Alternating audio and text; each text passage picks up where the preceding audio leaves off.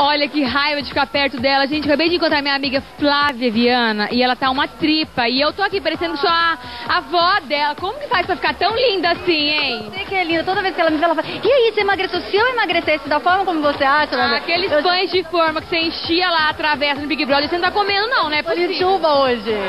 E eu Bolinho- fiz bolinho de, de nada e tô, tô assim, cheia, tá de... Claro. O que aconteceu com você, amiga, que parece que roubaram seu step? Como é que você vai pisar lá no trem e trocar a roda? Desse jeito não dá. Gente, para, né? É povo tá roubando step. É, meu carro tem aquela roda atrás. E aí, um minuto, eles zoaram uma porta inteira, zoaram outra porta. Eu saí do martelinho hoje. Ah, não, né? Coisa feia. A gente rala, rala, rala e vai no rouba step. Aí rala, rala, rala e rouba celular. Aí rala. Assim, dos anéis estão com os dedos aqui, graças a Deus. Que Você me tá passou a perna. Faustão? Você tá. Ô, Flavinha, mas tem. Mas tem. Mas tem.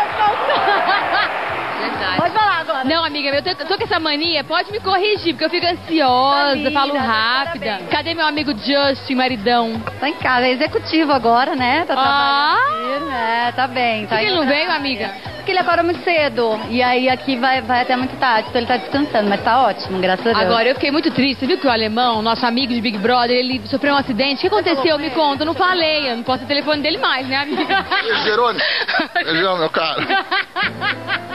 Olha lá. Sabendo tudo que acontece, porque eu, sou, eu adoro o alemão. Eu acho ele um querido, ele é muito meu Nosso amigo. A amigo. gente sempre, sempre que dá, a gente se fala. Vai ser nosso amigo sempre, independente de qualquer coisa. Exatamente, gente. A gente viveu um momento especial na, na vida de todos nós juntos. Eu fiquei preocupada também, mas graças a Deus ele tá bem, né? Ele já falou lá nas redes sociais, tá ótimo e eu espero que esteja mesmo. Acontece, né? Fatalidade acontece, tem que tomar cuidado. Sair igual louco, ele já tava preocupado, mas ainda bem que tá tudo bem.